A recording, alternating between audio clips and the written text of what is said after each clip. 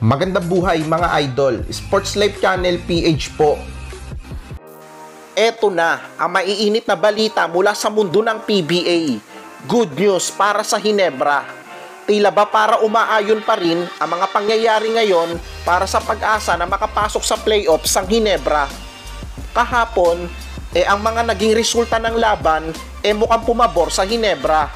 Dahil yung mga posibleng makaposisyonan nila sa team standing eh natalo sa mga laban nila kahapon. Kung ako ang tatanungin mga boss, eh parang mas napaganda pa na nakapasok na sa number 2 spot ang Meralco dahil sa pagkakapanalo nila kontra sa NLEX. Para kasi sa akin, eh dahil nga sa no bearing na ang laban ng Meralco sa Hinebra, eh hindi na isusugal ng matagal ni Coach Norman Black ang mga star players niya.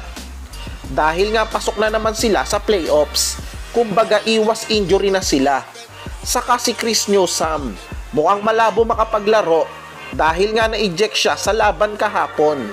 Isa na lang talaga ang kailangang gawin ng Hinebra. Ang ipanalo ang laban kontra sa Bolts. Yan ang mga balita natin ngayon. Kung nagustuhan nyo ang aking video, huwag nyong kalimutang mag-like at mag-subscribe. Hanggang sa susunod na sport news.